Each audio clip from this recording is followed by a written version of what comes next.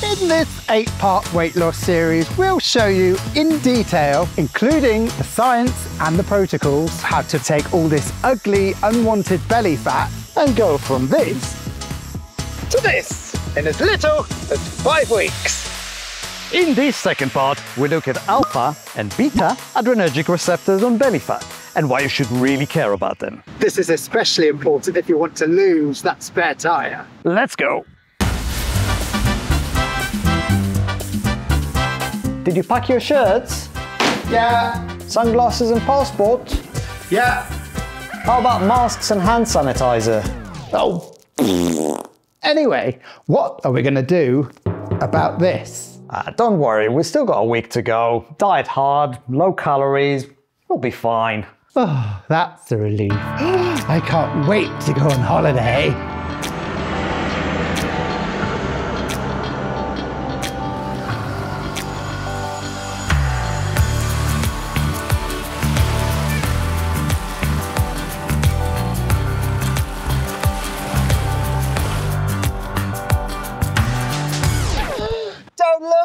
I'm hideous! Oh. I'm Jacob. I'm Rob. This is Moby. Ah, and we are Belly Proof, an alternative fat loss approach designed to take you from this to this in as little as five weeks. We want to teach you new concepts you can use right now and get results you can be proud of. So stick with us and learn how to become In this video, we're going to give you an insight into what makes stubborn fat so damn stubborn and what you can do about it. We will also cover adrenergic receptors, brown fat, visceral fat. So if any of these sound interesting to you, keep watching. Let's start with the most crucial part of losing fat. In order to burn fat, you need to extract it from your fat cells first, in a process we call fat breaking. Let's do a quick recap. This time, with cartoons. In the body, fat burning happens when a fatty acid is extracted from the fat cell and sent to the mitochondria to burn. but there's a problem. The fatty acids are combined in a trio and shackled to a glycerol chain, a triglyceride. They are locked up in a prison fat cell high up on Mount Adipose And guarded by the evil alpha 2 receptive. Luckily, a supergroup of heroines. the Sisterhood of Lipolysis, TAF, Agree. and They have what it takes to break the glycerol chains and set those fatty acids free! Don't miss the fatty acids burning it up live tonight at Club Mitochondria. We want you to think about two statements you often hear together in regards to stubborn belly fat. The first one is you lose fat evenly from everywhere.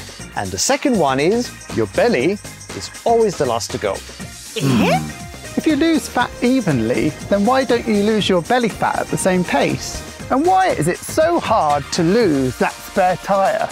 You know, back fat, love handles, lower belly fat, moves, bingo wings, and thunder thighs. The first crucial thing to understand is how fat is distributed around the body. If you take the human body, we have our organs. Surrounding our organs is a layer of fat called visceral fat. This is often known as the deep, dangerous, hidden fat. Next slide, please. Then you have your muscles and finally subcutaneous fat and of course the skin surrounding everything. Subcutaneous means under the skin. It's important to distinguish the deep, dangerous visceral fat from the more visible belly fat. Visceral fat sits under the muscle. You can't pinch it and it doesn't jiggle. Too much of it is known to cause health problems. Luckily, because of its central location, visceral fat receives great blood supply. Belly fat, the type you want to lose, is subcutaneous fat, meaning it sits above the muscle and it jiggles. If you can grab it and pinch it, then it's subcutaneous. This type of fat does not receive good blood supply. The second thing to point out is that blood flow to fat cells is key to the process we call fat loss. you need to get lipolytic agents like our secret agents, Ramona, Tess, and most importantly, Adri, to the fat tissue. Your belly doesn't receive good blood circulation, and the same is true for all stubborn fat. Blood circulation generates heat, and this is why areas with poor circulation feel cold to the touch. Finally, you've got your adrenergic receptors or binding sites, alpha 2 and beta. We call beta receptors the good guys because they help us break fat. On the other hand, we call alpha 2 receptors the evil alpha 2 receptive monsters because they block this process.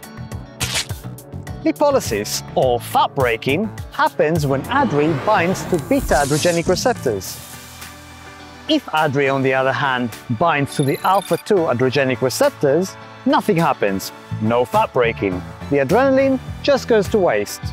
This is something that works at scale. Get more adrenaline and beta receptors and you get more fat breaking.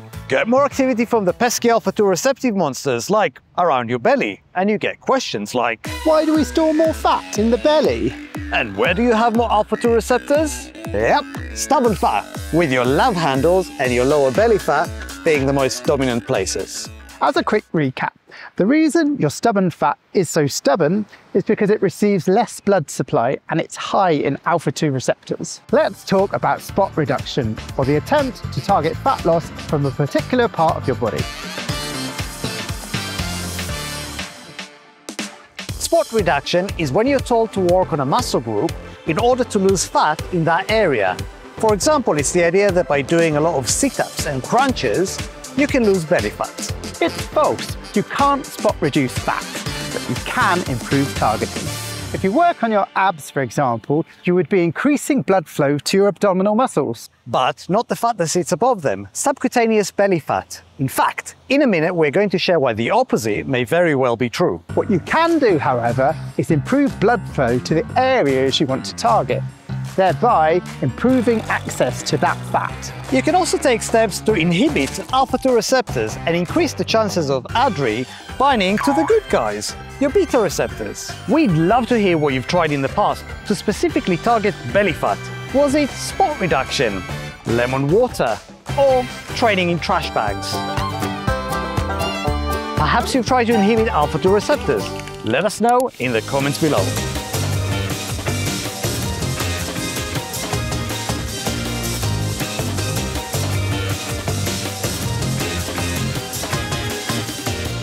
Solve the problem of blood circulation. We wanted to see what we're dealing with, so we got ourselves a thermal camera. Here's the beach. Here's a nice cup of coffee. Here's Moby getting toasty by the fire. And here's the reality of stubborn fat. As you can see, it's cold. This is something we have tested many times, and it's always the same result. Now that we can see blood flow, we can hope to solve it. Mainstream wisdom tells us that exercise improves blood circulation as the skin gets hot and sweaty. Well, that's what we believed anyway, until we put it to the test. It turns out that when you exercise, where you had good blood circulation, it will now be better. But where you had poor blood circulation, it will now be even worse. That means that easy to lose fat will benefit, but stubborn fat like your belly or your love handles will now become even more problematic. This is something you can feel for yourself doing the ice ice belly test. Feel the temperature of your face and compare with that of your belly and your love handles. After the test, go and train, gym, run, whatever you like, and at the end, test the temperature again. We guarantee that your belly fat or love handles will now be even colder, which means they are getting less blood. Here are six great ways to tackle this. 1. Heat. If you have a hot shower or a heat pack or simply decide to massage your belly, you will notice it gets warmer, at least for a little while. You can take advantage of this during rest periods between sets and give your belly a little rub, a dab, dab, dab. Two, light. High-tech therapy gadgets like far infrared panels and red light therapy absolutely can help in a significant way. The good ones aren't cheap, but luckily The sun is absolutely free, so get yourself out there. Just make sure no one's watching. 3. parasympathetic activity, the opposite of fight or flight. Just by taking your recovery seriously and being more mindful of slowing down, ideally between sets when you rest, you can send blood away from the working muscles and more into the subcutaneous layers. 4. Clothing and temperature. Exercising in warmer climates or clothing, as well as the use of compression clothing.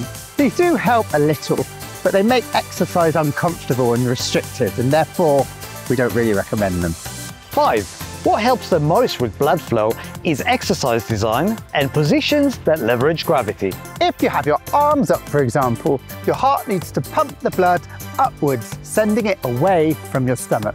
The closer you are to the ground and the more you leverage gravity, for example, resting with your legs elevated, the more blood circulation you will have around your belly. Six, topical muscle relief creams. They do generate heat and help with circulation, but we no longer recommend them for two reasons. First, they can really irritate the skin, which we found out ourselves. And second, they often contain ibuprofen, which leads to water retention, giving you the impression that you're a little fatter than you actually are. We also have our alpha 2 receptive monsters, and just like belly fat, they too indeed are very stubborn. Luckily, we have a few defences we can use against them.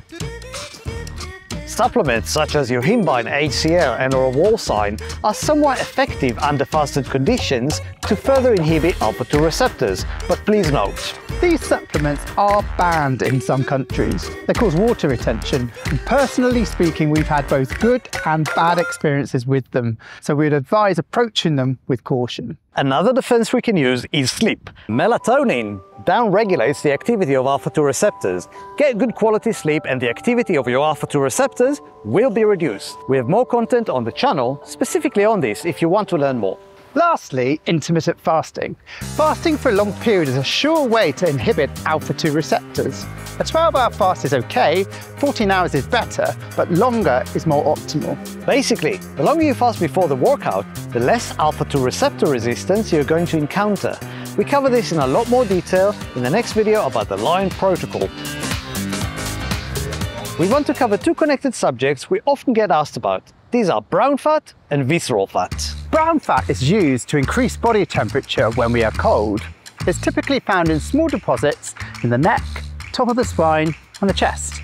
Not places you'd typically look to lose fat from. Brown adipose tissue, and even more so browning of white adipose tissue, has received a lot of attention in the last few years because people are excited about it being more metabolically active and because people are always looking to burn more calories at any given moment. Unfortunately, as we explained in our first video, burning calories is very different to burning fat.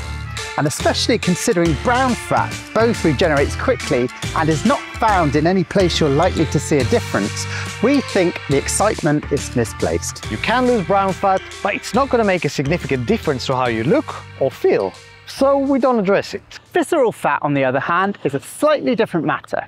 This type of fat is relatively easy to lose, and even at a healthy weight, your body will store 10% of its fat mass as visceral fat. Consider visceral fat a health factor rather than body fat which you can see or feel.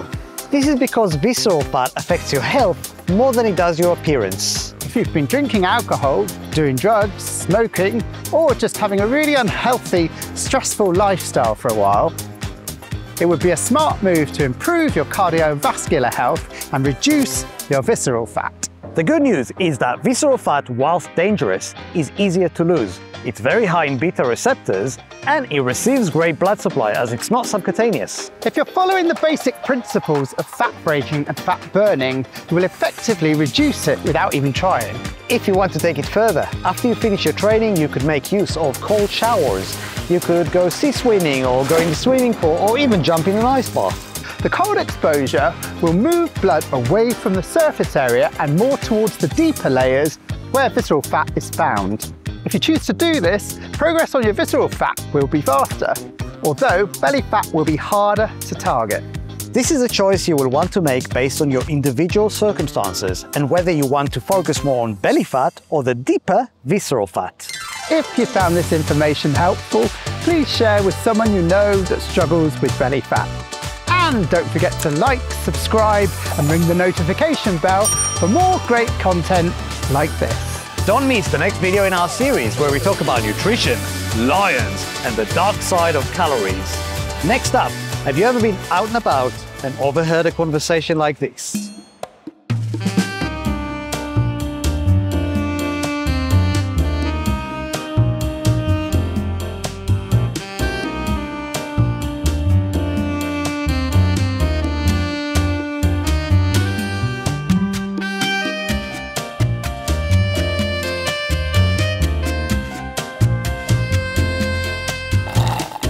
I can't understand how you do it, Bridget. Eating all of this crap and getting away with it. Well, Melody, I've been blessed with eternal youth, good genes, and a fast metabolism. No, my God. You're delusional. Maybe you should train a little bit more and eat a little bit less. I mean, do you really need to eat that much lettuce, Melody? Greedy little piggy. I'm doing great, thank you very much. I've already been to the gym and done my Pilates. What magic mushrooms are you on? No, don't be silly, my lovely. Here, let me order you a nice chocolate fondue. Excuse me, waiter.